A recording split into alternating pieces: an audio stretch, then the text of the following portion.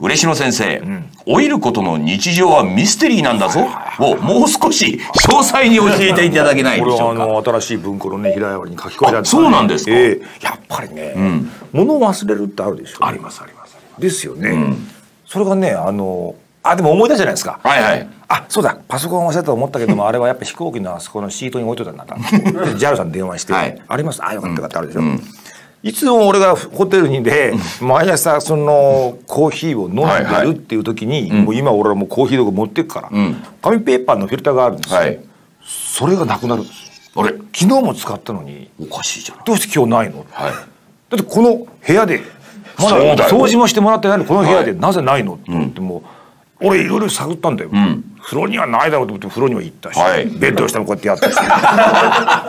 それそれが可能性は全て。そう。それが出てこないわけ、おかしい。これミステリー。ミステリー。でも俺は思うんだよ、だってどうせ犯人は俺だろって。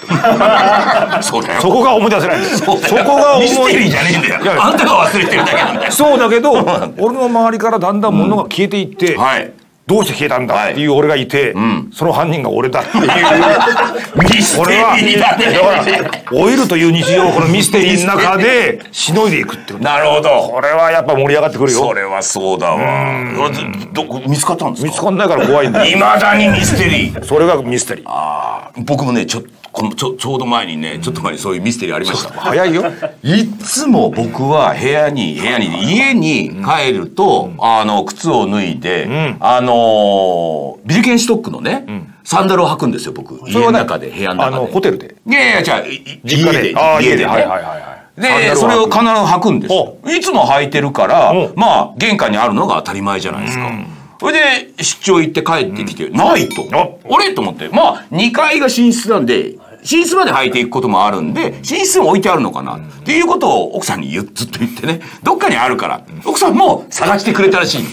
全然見つかんないの。ね。ミステリー。ミステリーでしょ？そしたら、ありました？あった。よかった。下駄箱に入れてました。なるほど。普通入れないんだよ。だって普段、スリッパ下駄箱入れないでしょ？ああ、置いときますね。置いとくでしょ？はい。それを、それは何？いつもの行動ではないこと行動ではないことを多分やったんだね。なんかやっぱ大事に思っててか、他の靴と間違えてなのか、これは貴重なものだからちょっとよっこしといてってやつは絶対出てこないああ、出てこない。いや、それが普段はやらないのにやってたんだね。だからもう、一切わかんないわけ。怖い怖い怖い怖い俺、靴を、だから違う靴入れると、あった ミステリーだった。俺のは解決された。怖いでしょこれは なぜよ、じゃあ俺チャがラララチャララチャララってこれ美人になるでしょこれなるなるなる。これはミステリー。そういうなんか動画とかもしああ、それはそうだ。固定カメラで撮られてたらさ怖いよはっきり言ってでもみんな犯人知ってんだよ。必ずあんたがあそこに置いただけそうなんだそれをずっと右往左往してね。怖いよそれはミステリーそれをだね。考えても思い出せないって怖いいやもう先生のそのフィルターはもう迷宮入り。君はあったかもしれないけども